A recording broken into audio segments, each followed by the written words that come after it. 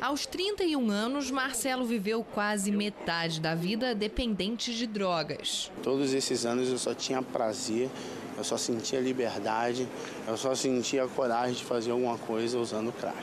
Durante sete anos, fez das ruas da Cracolândia sua casa. Eu já vivia 24 horas maltrapilho, fedido, já vivia como um pedinte, já vivia à margem da sociedade, eu já tinha me adaptado ao lixo. Eu já tinha me adaptado à podridão. Era realmente aquilo que eu queria. Eu queria estar nas ruas, eu queria minha liberdade. Eu tinha liberdade para poder fazer o uso da droga. Eu fazia o meu horário, eu fazia as minhas regras. Hoje, Marcelo trabalha em uma instituição que ajuda dependentes químicos. Ele tem o sonho de se tornar teólogo.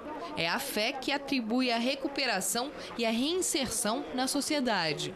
Hoje eu estou com seis anos e oito meses que estou limpo, que estou liberto e tudo isso eu devo a ele e eu quero viver a minha vida para ajudar outras pessoas. Os programas de reabilitação têm linhas de ação que passam pelos centros de convivência, a enfermaria de desintoxicação e as moradias assistidas. A abordagem inicial é feita por conselheiros de rua. Se aceitar começar o tratamento, o dependente químico vai ter acesso a cuidados pessoais banho, barbearia, academia, grupos terapêuticos e outras atividades educativas, como visitas a museus. O objetivo é a recuperação da autoestima. Só depois vem a desintoxicação. De 2013 até o final do ano passado, o programa Recomeço do governo do estado já fez mais de 53 mil triagens e acolhimentos e 11.507 desintoxicações hospitalares. Este homem foi até a tenda do programa pedir internação. Pai de dois filhos, perdeu a família e o emprego por causa das drogas. O repórter Lucas Martins conversou com ele. Ouvi parar pela uma situação, por uma pessoa, acabei me envolvendo, aí perdi, fui bobo. A pessoa hoje faleceu já e comecei a conhecer a droga da cocaína.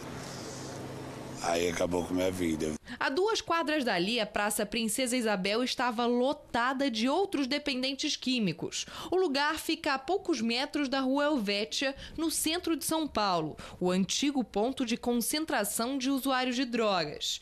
Agora, a rua onde funcionava a Feira Livre de Drogas está irreconhecível, praticamente vazia.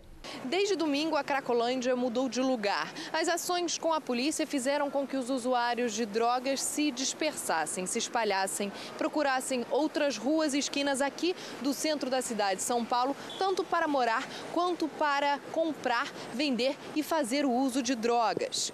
Mas para que os dependentes químicos saiam de fato das ruas, é preciso vontade própria. De acordo com a lei em vigor desde 2001, há três situações de internação. Internação voluntária, aquela que se dá com o consentimento do usuário.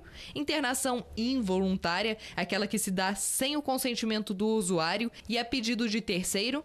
E internação compulsória, aquela determinada pela Justiça. Mas a Prefeitura de São Paulo entrou ontem com um pedido na Justiça para mudar essa lei. Se a demanda for aceita, a gestão Dória passa a ter autorização para abordar toxicodependentes que estejam nas ruas. Isso com a ajuda de uma equipe multidisciplinar formada por médicos e policiais. Desta forma, os médicos podem atestar a necessidade de tratamento no momento da abordagem. A polícia entraria para efetivar a internação. A Defensoria Pública classificou o pedido como uma caçada humana e afirmou que vai entrar com uma manifestação contrária. A solicitação, com caráter de tutela de urgência, faz parte de uma série de ações que o prefeito João Dória pretende aplicar na região da Cracolândia, no centro da cidade. A Prefeitura de São Paulo e o Governo do Estado de São Paulo farão aquilo que for necessário fazer para atender as pessoas na habitação, no acolhimento e também na proteção. Olha.